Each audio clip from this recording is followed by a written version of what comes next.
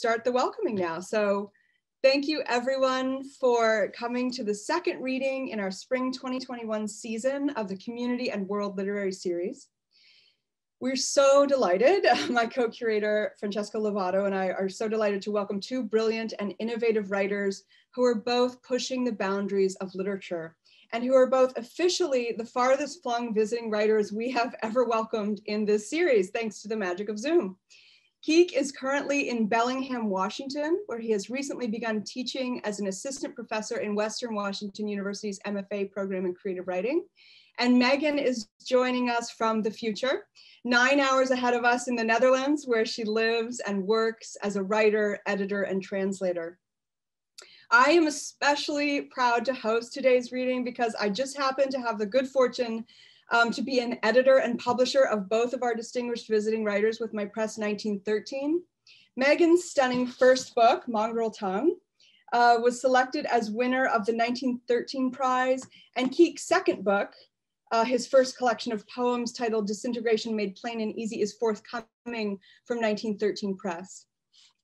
So without further ado, I'm going to introduce Kiik, who will read first. I'll read his introduction, and then after Kiik's read, after Kiik reads, I will introduce Megin.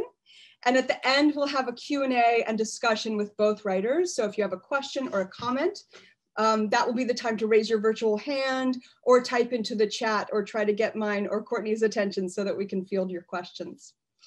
Um, okay, here we go. Kiik Araki Kawaguchi's first book, which I have here, The Book of Cain and Margaret, is a novel about two teenage lovers who disrupt a World War II internment camp in Arizona. It was selected as winner of FC2's Ronald Sukenick Innovative Fiction Prize and published in 2020. Jeff Vandermeer says, Araki Kawaguchi's Book of Cain and Margaret is an important book and a brilliant one. Surreal, moving, and beautifully written, one of my favorite reads of this or any year. Salvador Plasencia writes of the work, a wondrous trance one of those novels that defies the rules to make its own indelible order. Araki Kawaguchi's debut is a virtuosic performance of sentences and empathy. Fable, history, slapstick, and a riotous lament, the Book of Cain and Margaret contains it all. Anne Vandermeer calls the book a dazzling debut from an important new writer, highly imaginative, bittersweet, astonishing, playful, and yet also poignant. And Lucy Corin calls the Book of Cain and Margaret ravaging, a magical tale of a family shaped by internment, a necessary document of human and narrative inventiveness, an abundance of astonishments, harrowing, coy, joyful, audacious, wise, loving, true. It is not just a great debut, it's a great book. I, Sandra Dollar, will just say that I agree with all the good press. I will also add that Kiik is a writer and human of uncommon capacity. He possesses a generosity on the page and in spirit that makes everything he writes a collaboration with an imagined, unidealized, imperfect reader. His work is an invitation to participate, to admit fault, to become more human. Kiik Araki Kawaguchi was many times a community college student, twice a transfer student, twice an undergrad, once an experimental college student, and twice a grad student before figuring out what he wanted to be as a grown up. Kiik is currently an assistant professor at Western Washington University, and he is the author of Disintegration Made Plain and Easy, which is forthcoming from 1913 Press. He insists he doesn't have expertise on much, but he is excited to talk with CSUSM writers and artists about first year and transfer student transitions, creative writing practice, submitting work for publication, grad school prep, and grad school survival. Please welcome a literary superhero, Kiik Araki Kawaguchi. Thank you, Sandra. What an introduction. Uh, so thank you, Sandra. Thank you, Courtney. Thank you, Megin, thank you, San Marcos faculty and students for coming and um, giving us your energy and attention um, for giving this reading a home. And um, so I'm going to read a few things and uh, actually, maybe I'll go ahead and try this screen share. Here we go. I'll bring us up here. Here's one of the covers for disintegration that's coming up. Uh, so this first thing is like an attempt to write a sleep story. So I don't know if you've heard of this genre. It's um, it's like the genre of writing that's meant to be uh, like peaceful and even free of conflict and and boring, and so that you can sort of like listen to it and fall asleep to it. So I tried to write one, but my mind immediately went to like what are the most terrifying things imaginable to me. And so that's kind of what this poem is ended up being about. Uh, so it's called Sleep Story. Uh, these, these images were created by Gautam Rangan, who's a really uh, incredible artist and um, developed some illustrations both for Disintegration and then my, my book of fiction too. Sleep Story. Men have two fears. The first is crashing your hang glider into the center of the ocean at 1 a.m. and having to swim around naked for hours until a shark hears you splashing. The other fear is living forever after everyone is dead, especially after our sun implodes. And every day you are just waving your arms and drifting by Mars in eye bulgy agony, like Arnold Schwarzenegger in that unforgettable movie, Kindergarten Cop. Seeing this aloud, I suppose these fears are exactly the same, which makes sense because men so rarely have differences, afraid of being lonely and also the dark. Even the dark is just a physical representation of a man's loneliness. It spills out of him, the black dew of a melon hacked at its waist. I do not know why I must hang light nakedly I suppose because the more naked you are, the closer you can get to the sun. Uh, this next one, I was thinking of my favorite TV character ever, uh, which is uh, Ron Swanson from Parks and Rec. And if you don't know Ron Swanson, he's like like a really like manly man, uh, stoic, uh, bearded woodworker. Um, like I was trying to think like what would Ron Swanson poetry sound like? Uh, like so probably so like minimalist and clear and masculine and like maybe even sexy and um, so anyhow even though i'm like the opposite of man as ron swanson you can you can pretend um, he's reading this to you it's called i like my hunger i like my hunger i put it on everything the bud of bread the Brandywine tomatoes. Living is a language of hunger. I want to make love to a man. No, not a man exactly, but I want to make love to something extremely hairy. A wolf, then. My hunger recognizes the hunger in a wolf. Maybe we do not have to make love. I could simply feed him all the bread I can find how far will he go before losing consciousness or is somehow immobilized from too many breads? I like to cook a family of birds in their own fat, in a country of olives in their own juices. I like Montmorency cherries. I like tart. My mouth goes alive with a word in my mouth. But back to my wolf. What do you do once he is perfectly still from all that bread? I suppose then you could make love to him or you could cook him up. The stuffing is already stuffed down in there. His liver, like a fire god's, to be spread across my tongue. The woods are deep and plentiful near my house. There is warm blooded fare. There are lovers. The sorrel erupts and jubilates. I kiss everything beneath the sour cherries. Uh, this next one's a love poem. So as you might imagine, it's it, it's pretty weird, and um, it comes from this line that I heard in like movies and TV, and it's this line where like like a creepy guy will like come up to a woman and he'll say this. He'll say, um, "If you were mine, I would not share you with anyone."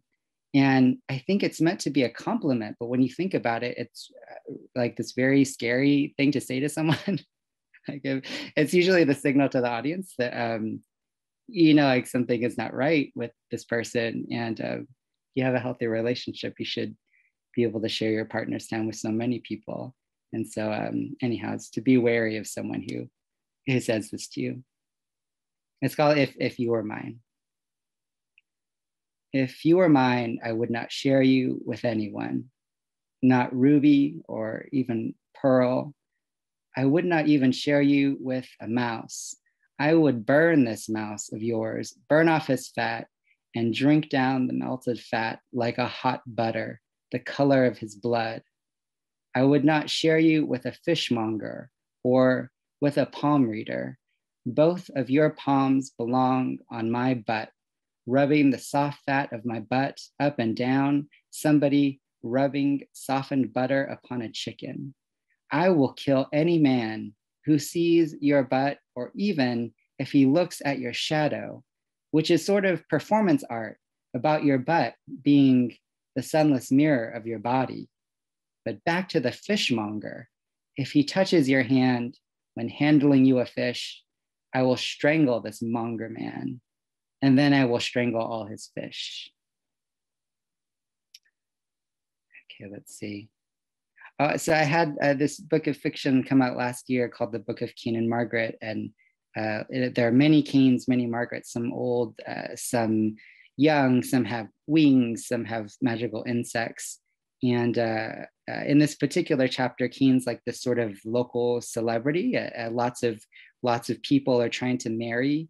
And for part of the chapter, Cain lives like in a small farming town where the Japanese family farms are uh, all like really competitive with each other. And so all these girls are trying to uh, seduce Cain with uh, fresh organic produce. And um, I've never gotten to read this aloud before, but uh, I've always wanted to. So thank you for listening. It's from a chapter called The Absence of an Ocean. It was said that during his youth, Cain was offered 28 proposals of marriage. The first dozen or so occurred during the years he attended high school, and later when he studied aeronautical engineering at the local community college.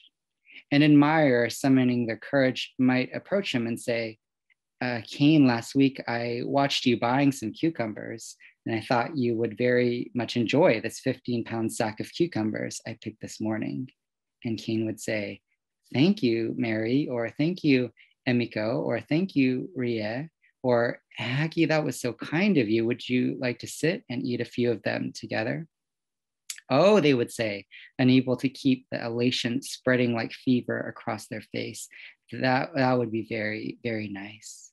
And later, while the firm melon green flesh broke between their teeth, the tart, glassy seed bodies and the mild cucumber perfumed water sluiced over their lips, they would say, yeah, my family is big in this area when it comes to cucumbers. You could visit the farm to pick and take home whatever you like. And Cain would say, Gosh, thanks so much, Seiko, or Gosh, Chio, or it's a kind offer, Evelyn, though I think I'll likely be all right for cucumbers, at least for a little while. Yep, they would say any person who marries into my family can eat all the cucumbers they can handle, all the pickles they want to, it sounds like they'd be getting a good deal, Cain would say. All the strawberry and cucumber salad, all the mint and cucumber cocktails, all the cucumber and cream cheese sandwiches. I only have to marry into my family. The man would be set for cucumbers for life. They would have to marry into your family, Cain would say, his butt cheeks scooching a bit away from Sugar or Kimmy or Betty. Uh, they couldn't just be close friends friends are all right, they would say. Dating, uh, sure, going steady, but eventually a girl thinks to herself, surely it seems like this person is getting more than their fair share of cucumbers without ever making a decent commitment. Friendship is not a commitment? Well, there's that saying you can only date the cow so long before you must marry the cow, and then the cow will turn into a princess.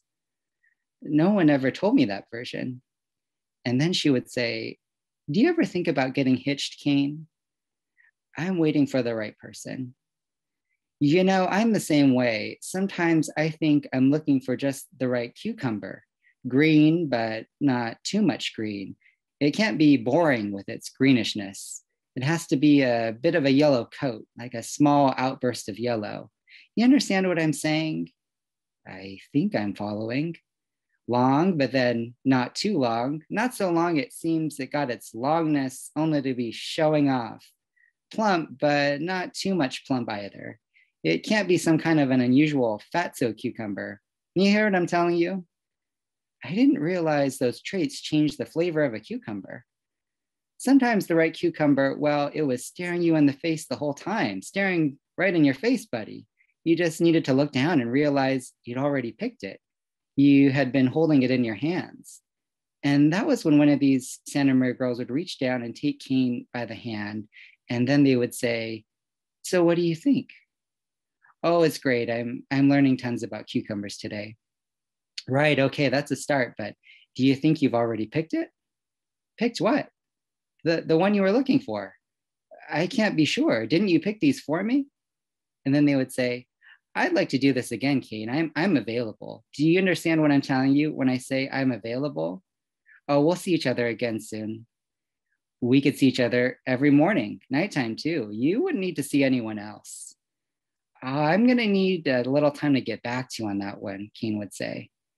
I feel as though the two of us understand each other on this higher level. We resonate with each other. Uh, what do you call them up in the bell tower? We match like those a lot of couples won't get the chance at something like it. When you have a feeling like that, you have to say it out loud. You have to act on it loudly, don't you think? Uh, do you feel better now that you've said it? I do, she would say. I feel complete. Chimes, is that what they call them? So it went for the daughters of Central Coast farming families of lettuce, tomatoes, yellow squash, avocados, artichokes, pumpkins, grapes, blackberries, huckleberries, strawberries. Cain became expert in pickling and making preserves. In their kitchen, Hamako Araki would help him process the flats of berries, the pillowcases bulging with artichokes. The two of them worked shoulder to shoulder, swiping roots and tops off their cutting boards, measuring pectin, pouring sugar, working a wooden spoon through a steaming and ever thickening pot. Seems like you found another admirer, Hamako would say. Someone trying to plead their case. What did you think? Was she pretty? Uh, she really was very pretty, Cain would say, lowering his ear to a pumpkin and wrapping it with his knuckles. All right, you don't sound really very excited. Do you want me to get married soon? How badly do you want me out of your house?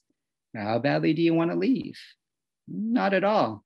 So stay then. What do I need an extra room for? Look at the free salads we eat. You think I should be taking it more seriously? That is not my advice. Do you feel like being serious? I can be serious, but no one makes me feel that way. All right, so then why buy the cow, right? What's that? Well, there's the saying about a cow. You don't have to buy her because she's like got so many cows in the pasture and they're all basically have the same stupid cow face and terrible breath. So why worry if one cow runs away? She probably can't run very fast anyhow. Well, I didn't realize the saying went in that direction. Right. Well, maybe you don't enjoy cows. Maybe you want a donkey or like some camels. Uh, most of the time, I'm into people. Right. Well, that's good enough, Hamako would say, but you had still probably better deliver some jam and cookies back to her family. They'll spread rumors that we're rude if you don't. Okay. Well, I'll read this last one. Thank you all for listening. Uh, this one's about my favorite uh, comic book character and kind of meditating on his superpowers, um, but also sort of thinking about what would be like the mutant inverse of his powers. Um, so this is called a skeleton of glass and marmalade. Wolverine's superpowers are healing the physical, fleshy type wounds very good but he sucks big time at healing emotional wounds. Try saying a small thing about Jean Grey near that keen dog like hearing. Two modes either he air punches the motherfucking Christ out of the sky with his Santoku knife hands and turns his tank top into a clingy, pungent confetti, or gets all silent, walks briskly to the nearest bar and murders like eight and a half bikers. And I say one half since there's always one in the gang who hasn't saved up to buy his own bike. So less a biker and more a man who enjoys hugging his friends upon their bikes. The point is, Weapon X murders that poor dude too. He's touchy as hell. Maybe you do not even say Jean Grey. Maybe, damn, look at Scott there in his new gray jeans. Wish I had gray jeans from J.C. Penney's. Out come the adamantium fist kebabs, another microbrewery covered floor to ceiling in the blood and therapy of frat boys. I wouldn't have my Wolverine any other way, though. Given the spectrum of mutant abilities, you know there's another Wolverine out there in Portland or San Francisco who's the mutant inversion of Logan McClawface. And probably this other Wolverine is very, very mature, well adjusted man with Kleenex tissue for skin. And his girlfriend dumps him, but they remain best friends until she marries one of his coworkers, maybe his boss from Cheesecake Factory. Then they organically drift apart, only remaining friends by Facebook, where he comments on photos of her children. They look so much like his boss. And then at the ripe age of 28, one of his crocheting hooks pricks his thumb, and the skin of his hand falls from bone like rotten leaves, and his muscles fall past his knees like rotten leaves, and his hair and teeth come out of his head like rotten fucking leaves, and his cock dehydrates and faints and tumbles over his balls and snaps off and hits the carpet with a dry thud. And he bleeds to death mid reach for a band aid, his skeleton of glass and marmalade disintegrating, falling across the unfinished crocheted lap blanket. Because this Wolverine, pleasant party guest Wolverine, always complained of a persistent chilly lap he did. Oh, my lap is so chilly, he would say because my legs are not hairy at all. And no, I would want, not want that constellation at superpowers. Good at emotions, but terrible at living. Thank you.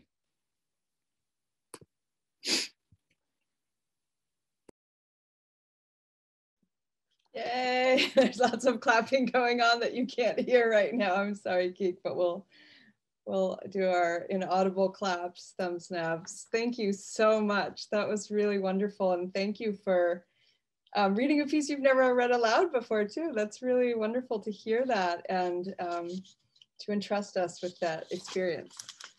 Beautiful. Um, excellent. So um, I'm already thinking of so many things we can talk about. So we'll, we'll get to our next writer, um, Megin Jimenez, who I'm delighted to introduce to you now.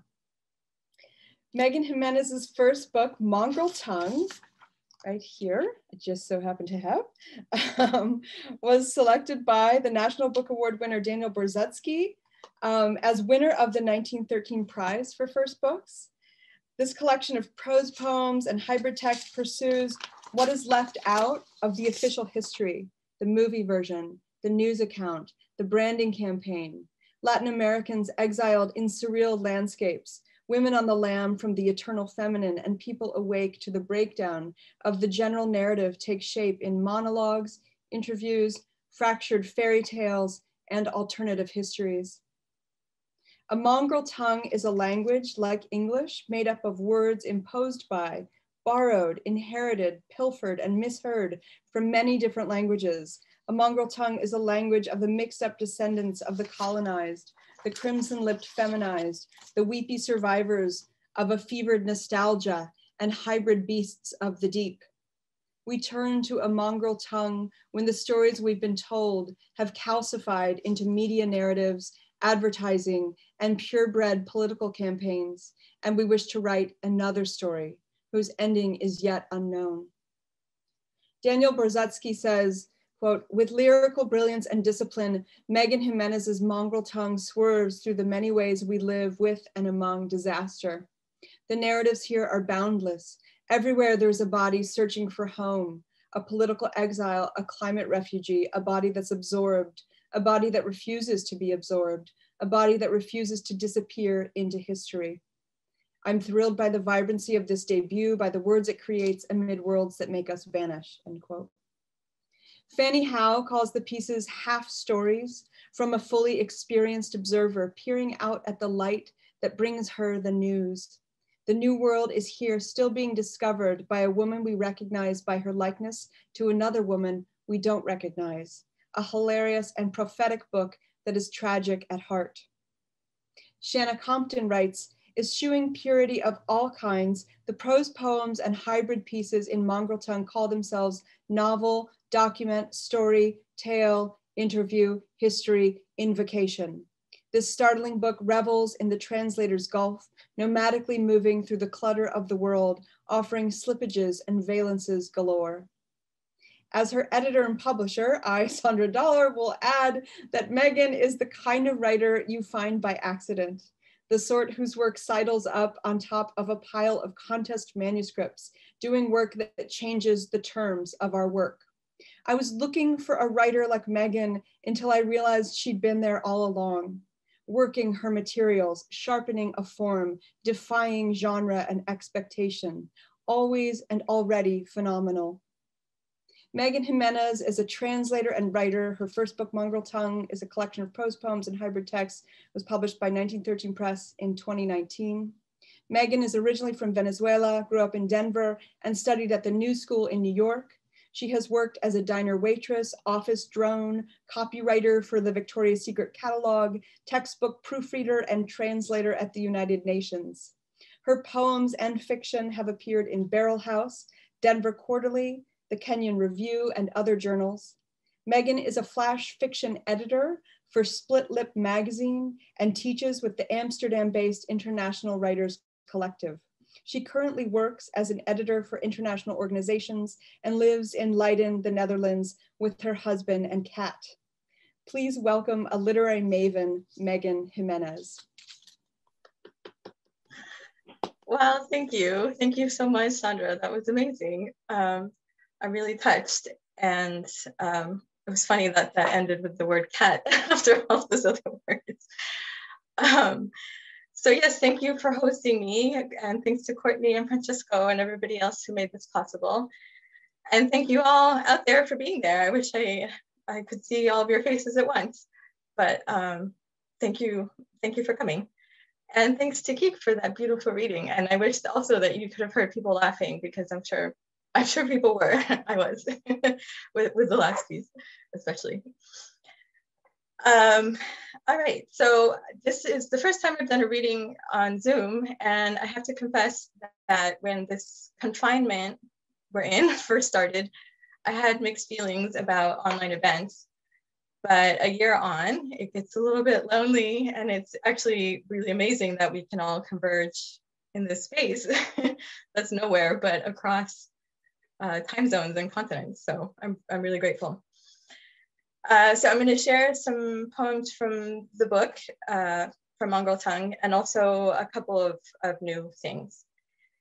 And I wrote the book over several years, and I wasn't consciously writing a book at first. Um, but when I started to look at the poems together, I realized that I was interested in the idea of a story. So, how we're taught that there's a certain order and a shape to a story, beginning in childhood with fairy tales or religious texts. And I was thinking about the kind of expectation that creates. Um, and I was also thinking about how these ideas and expectations of a story are used and often abused by advertising, by media, by politics, like we talk about political narratives or media narratives. And how does this shape all of our own expectations and impressions of really complicated events like climate change or even a relationship.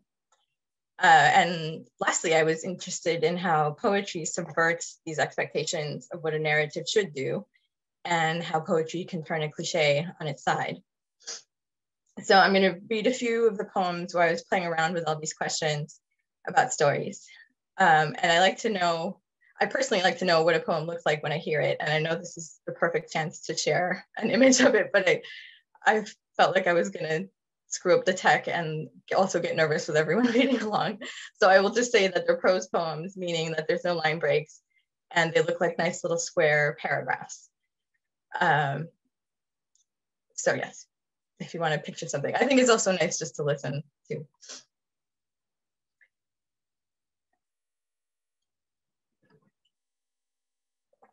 So this one is called Novel.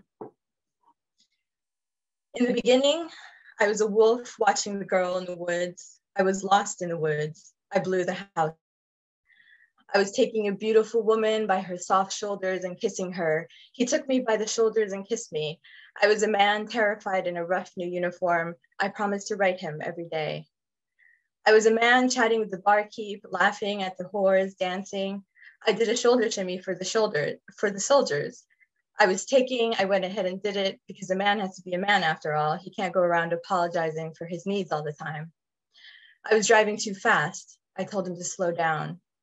I was damn sorry, pleading on my knees to a beautiful woman. I felt I could never forgive him for what he had done. I was smoking my last cigarette when the goddamn typewriter ribbon broke. He never showed me the end of the story. This is a lone story. His life had been unresentful thus far. Born into a healthy family, he had had a crappy childhood, attended the beef schools, and was expected to be successful, marry hell, and have a family of his own, perhaps go into politics if all went according to placebo. But then, a few years into his lard practice, he met her. It was loins at first night. Her smallest gesture sent charity all over his body. He couldn't meet, he couldn't weep. Her piercing blue thighs, her sultry tips, her svelte sinecure taunted his thoughts from the moment he first saw her. But they were doodled from the beginning. Some passions churn so hot they conceal themselves and everything else along with them. And there was the small mating of her husband. That hot human night, they had just separated from a rational coming together when they heard a lost bang outside. Sterile, came the shout from below. Sterile, that's what I'll, you'll be when I'm through with you. Her husband was in the yard, waving a grub in the air.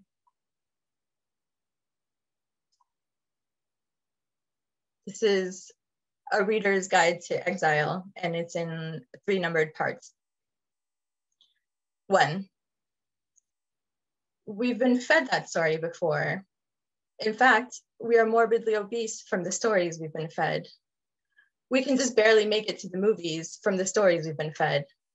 We can hardly get out of bed from the stories we've been fed. We seek new flavors on television. We sit on the couch, we eat them up or else we lie in bed. We don't even have to get up. Supplies are running low. Our dreams don't do it. We're dying in bed, anemic. Two, in our waking life, we can fly.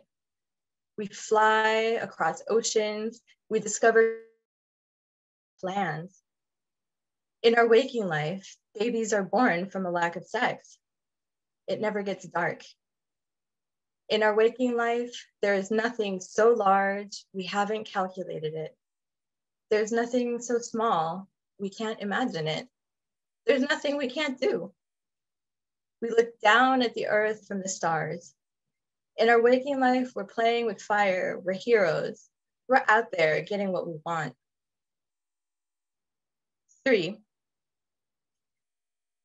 in our dreams, we were pulling something green from the earth brushing away the crumbling soil.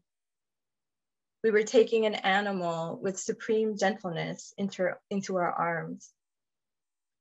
In our dreams, there's an earth to inherit, and somehow the meek to inherit it. In our dreams, we were watching a beloved dying in our bed. We had to watch her body leave the house. In our dreams, there is blood. In our dreams, we were wasting our time daydreaming. And this is the flood. The flood. How could a flood be destroying anything when there are heart shaped chocolate boxes to be opened with delight? Reclining chairs, mechanical pencils, and their tiny replacement erasers light bulbs of varying wattage, their filigree coils sheltered in frosted glass. Charm bracelets would not exist in a climate of disaster, nor would there be such long lasting paper money graced with engravings of our nation's heroes. 7,000 varieties of apples, personalized birthday cakes, time release sleeping pills. What could be made of a word like refugee when to work is to christen shades of lipstick in a tall building every day? First love pink, caramel glacé. There could not possibly be an end to multicolored Christmas lights, road trips across the continent, a summer house on the shore. Food is nothing less than a branch of philosophy when encyclopedia sets, lovingly printed in the era of paper, are left out with the recycling. If it gets too warm, there is rice paper with which to powder your nose, hairpins with rhinestones on their fine ends, dream journals, the perfect macchiato, mechanical escalators and fly swatters, historical preservation societies, guidebooks to a long and satisfying sex life.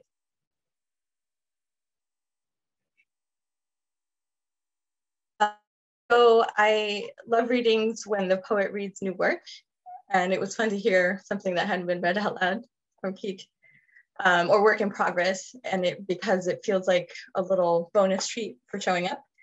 And I think the work often has a different energy around it, probably because of the way the poet's feeling about it, um, which is maybe not even really sure what it is yet. Uh, so I'm going to be brave and end with a couple of new poems. These are not published.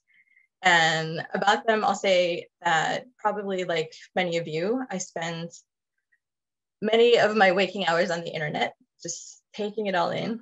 Uh, masses of words, tabs open, links, articles, Twitter feeds, news feeds.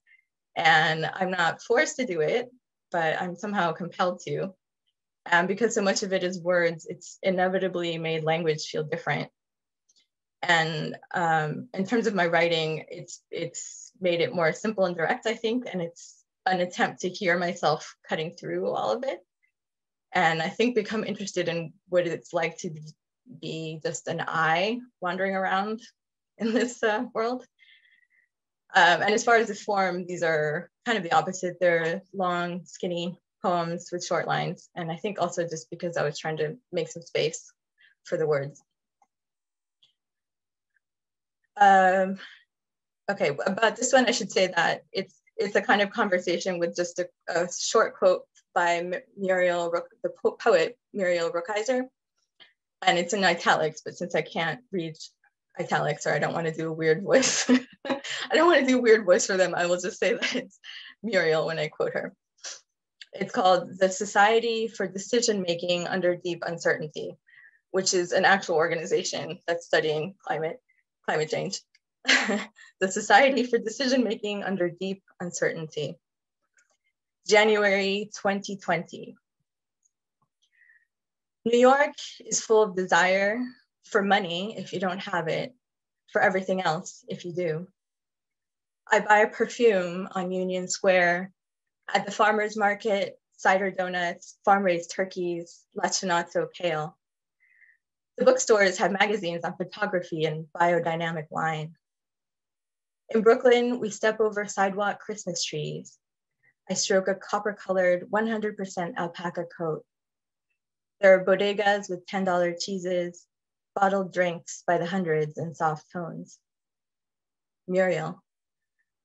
Faith is found here, not in a destiny raiding and parceling out knowledge and the earth, but in a people who, person by person, believes in itself. I'm in Lisbon next, surrounded by tourist cat, magnets, tote bags, keychains, menus in five languages. Trying to take a picture, hungry for their piece of it, not wanting it to get away. It is the view, the angle of light, a ruffle of wind on the sea, birds in a plaza. I'm not exempt. I don't like the way I turn away after I've taken a photo of a site, dismissively, as if I don't need to look anymore because I've captured it. But I haven't. And what are all these pictures for? They're single use plastic, yogurt cups, lady razors, water bottles, ice cream spoons. Muriel, do you accept your own gestures and symbols? I buy creamy wool gloves made by a woman women's cooperative at an anti-capitalist store. 17 euros for absolution, a day after reading about the fashion industry's greenhouse gas emissions. In the Portuguese Chinatown, I'm tempted by the glow-in-the-dark Virgin Marys staring out a store window, all in a row, factory made. Muriel, when you act, do you believe what you are doing? Back home, I watch Dutch TV. The interviewee says he's not worried. This is the only country with a plan to deal with the greatest possible flood, he says, a one in 10,000 year flood. Muriel, do you believe what you yourself have to say? And I will end with a poem called Escape Plan. At one point, this was after several years together, you said, Not everything is sad. We don't have to make everything sad. it was funny, but it was also serious. There's no need to be the anxious children of single mothers every day. The moms are fine. They've gone on to play bridge daily, get season tickets to the ballet, and have plans for an Alaskan cruise. But some things are clearly sad, which is why I didn't want to go to the Atlantic City Aquarium. The words Atlantic City Aquarium were already a clear warning. The trip became inevitable, however, with the dawning of a rainy day, a restless nephew. I didn't want to have to write about the big moray eel jammed in between rocks in a glass box, unable to turn around, the little tropical sharks subject to endless stroking by grubby hands, or the noble faced sea turtle swimming in circles in another too small box. In my mind, I made an escape plan for him, the noble turtle, into the endless ocean. We broke into the aquarium, then released him, or else the aquarium staff has this plan for him someday, I thought they must. Thinking this relieved my pain for him, the noble turtle, but did nothing for him. These benevolent intentions have got to find a better form, some living shape in the world nation. It's not enough to think about when we'll all get together again, a room for everyone in the country house, all of us so lovely and not thinking of money or anything ending. We'll stay up very, very late. And in the morning, we'll have pancakes for breakfast. Thank you.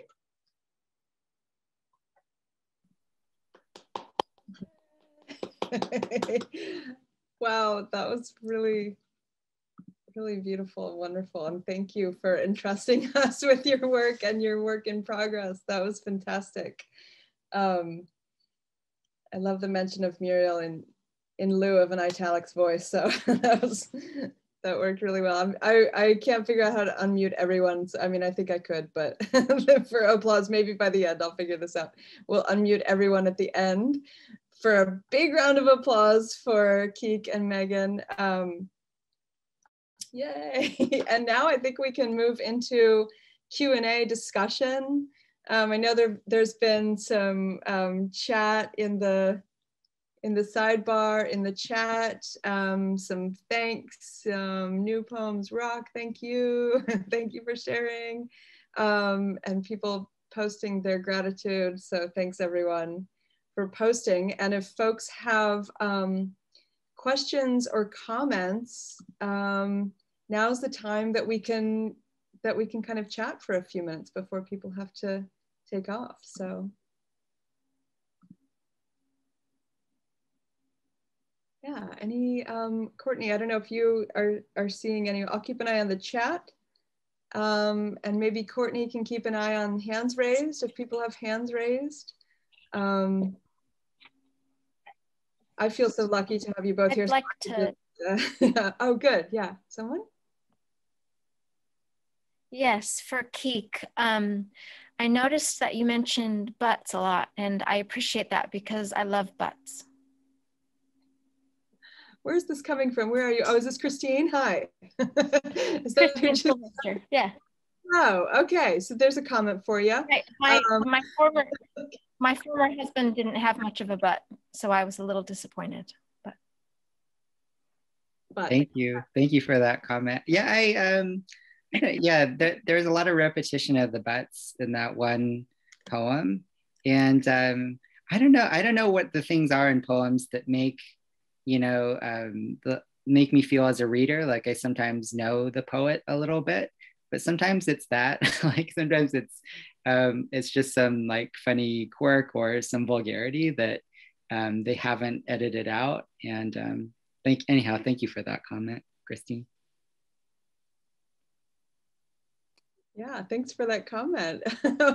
That's a good. So if anyone's nervous about commenting or asking a question, I think we I think we just broke the ice there. So thank you for that. Um, there's a comment. I appreciate the poetry so much. Um, easy to resonate and connect with. Um, and then here's a question in the chat. I'll just read it out.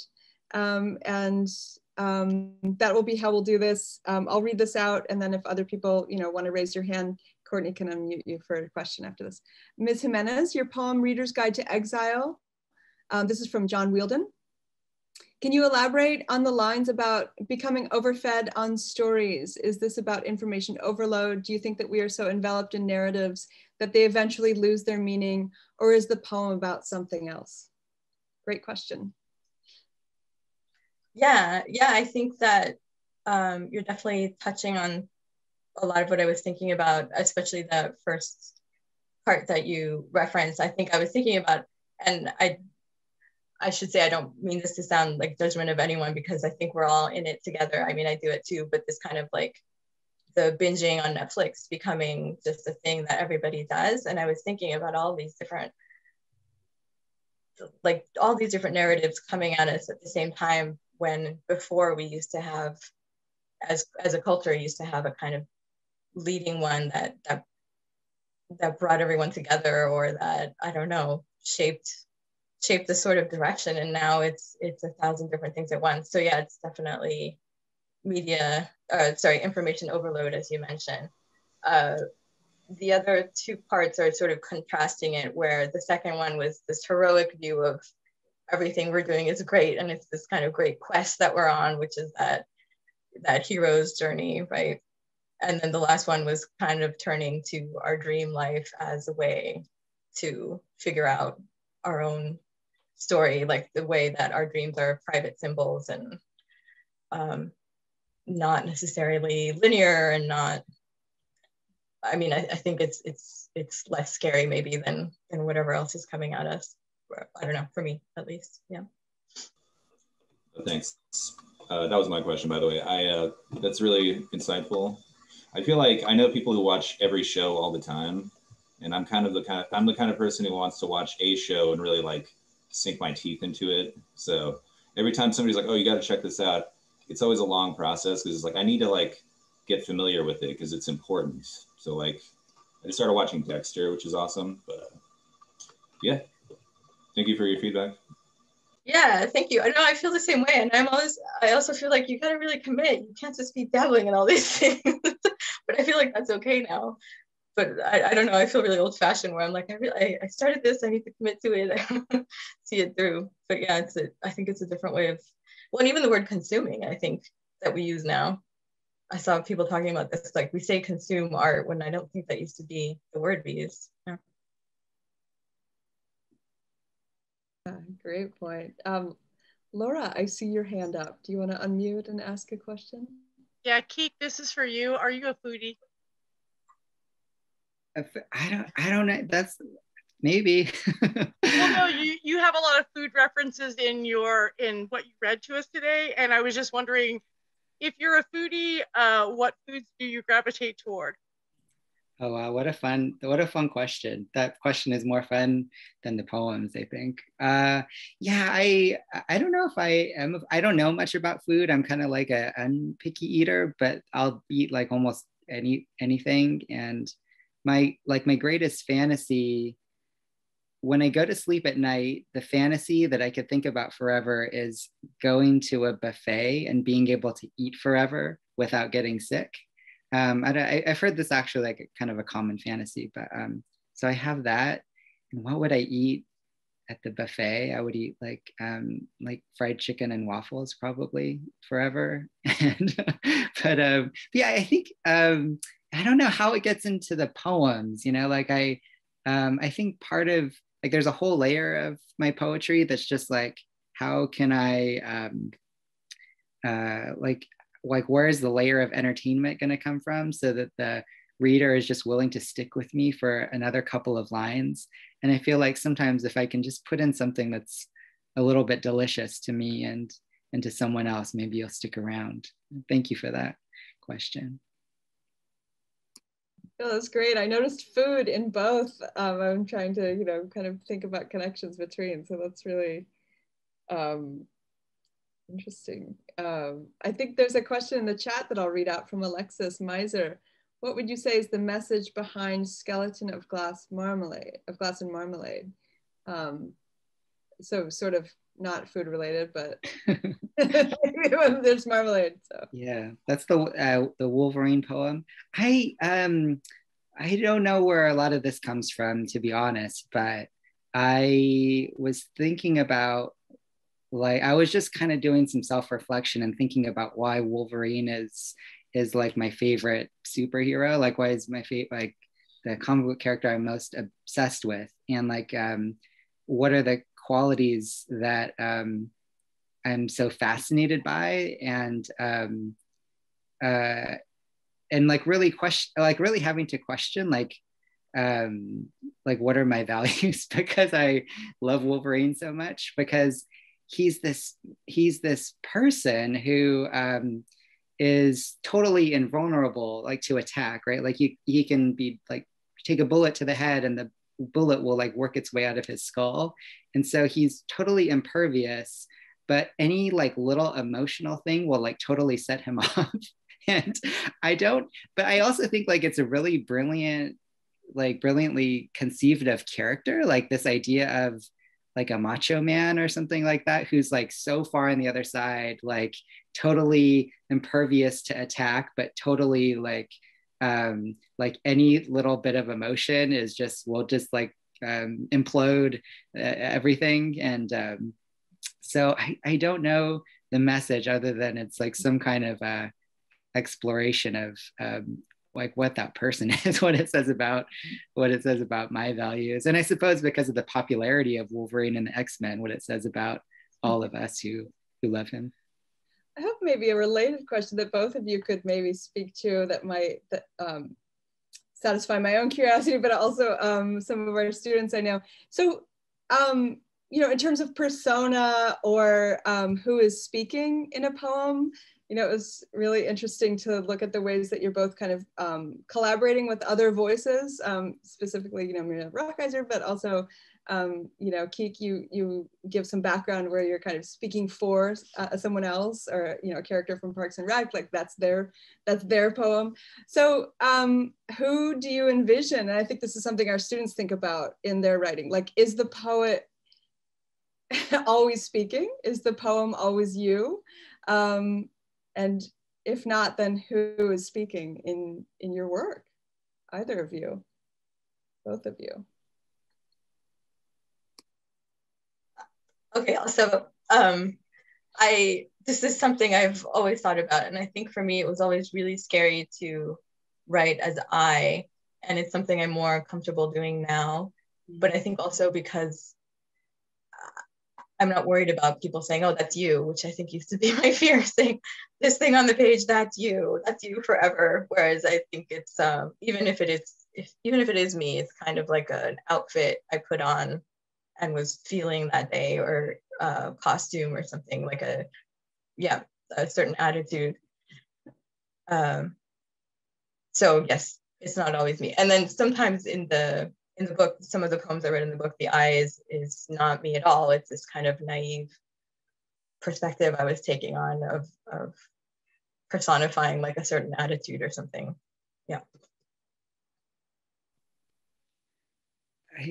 It's really fun question. I, um, I mean, my default answer is always I don't know, but um, Sandra's partner Ben Doller is also uh, an amazing poet. Said this to me, he's, he's one of my teachers, which is that so much of art making, almost all of art making, is just a channeling of anxieties. And um, I, when I heard that, I wrote it like on every notebook for like two years. And um, that's kind of what I feel like the voice in a lot of my work is, is just like my anxiety speaking really big. And um, like poetry is this way that like of having something I feel anxious or insecure about, but um, but it's almost like um, channeled through the voice of like an NBA basketball player at their press conference where it's said very confidently. And so I, I feel like that's the voice. It's a mixture of these two things, like like crushing, staggering anxiety, and then also like a, like perfect, uh, profound confidence, you know, somehow mixed together. And um, I feel like if I have any strength as a poet, it's somehow just that I have probably a lot of the same anxieties that a lot of people do. Um, great great answers we could we could talk all day about that why we write how we write what we're channeling and who um so yeah there's any other questions or comments um there's a comment in the chat from John. Um, I like your description of being eternal and eventually seeing the sun explode and then just floating around in space forever. I've thought of that idea before. Um, thank you, John, for sharing that, um, that that resonated with you. That's something that poems can do. you know, we have um, visiting writers from far away and they're reading us these words and we're like, wait a second, I've had that, I've had that dream or I've had that thought. Um, other, other questions or comments while we have our distinguished writers with us? How did you both feel um, reading the the newer or Megin reading your new piece and Kiik reading something that you hadn't read before? Is there an element of um, kind of nervousness that is there on Zoom that wouldn't be there in person or vice versa? Maybe in Zoom we don't get instant reactions, so it's harder to tell, harder to read the room maybe, but. It was funny, it, sort of practicing reading it out loud before, which I hadn't made me edit it and really get it into a hmm. different shape or them. But then the first one, I was like, oh, this is actually just like the flood one I just read. I'm actually not writing that differently, was what suddenly dawned on me that the, the similarities to the older work. I, I hadn't really seen it, but it seemed obvious this kind of listing of, of stuff, stuff in the world and what that does in a, in a little pile. I think I noticed it. I was like, oh, I'm still doing that. yeah, which is not a bad thing. That's a great thing that you do. I, I feel like Megin said it so well before she was, or during her reading, which is like reading new work feels really exciting and like hopefully the listeners um, you know get gather some of that energy and um, i just i feel like this might be a um, another thing i share with some of the writers here maybe is like after writing something i feel like i hate it for a long time after i feel like it's done and um, and there's something about writing something like fresh that you feel like no one has seen before. It like it's like it's like bringing someone like fresh bread or something like that, and um, there's an excitement uh, to it. So I'm I'm nervous for every reading, but um, I, I also did have a little bit of excitement to read something I, I hadn't done before. Great, thanks you both. I think um, I think we um, we can hang out. People are kind of taking off because I know pe some people have class and meetings and things. Um, if folks want to unmute and give a round of applause before we go, and then we can continue to hang out for a few minutes if the writers have time. So um, I'll lead the round of applause if people want to actually applaud audibly.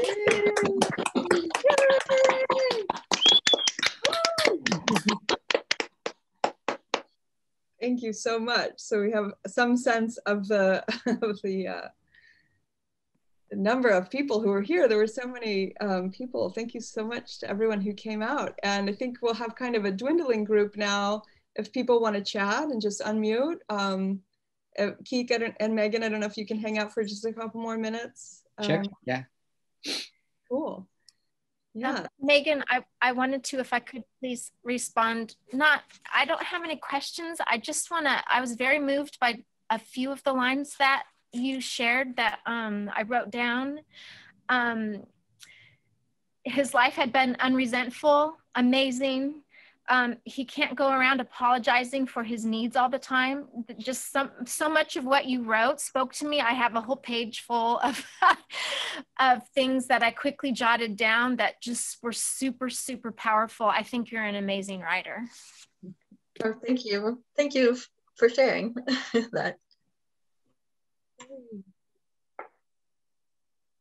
Yeah, and the word substitution piece, um, I feel like I, um, my students were just doing that. So I'm so glad that, that that was, that was read aloud, but some of them really hit so, so true. Yeah. Is there any way I can get um, sent a recording of this meeting to my email? Courtney, I think we can do that. Yeah. Yeah, so we'll have the uh, recording posted on our website. And if you want to email me directly, I can send it to you via email as well. I'll put my email in the chat right now. Perfect. Thank you so much. Thanks, Courtney. That reminds me, I'm going to stop recording right now. So.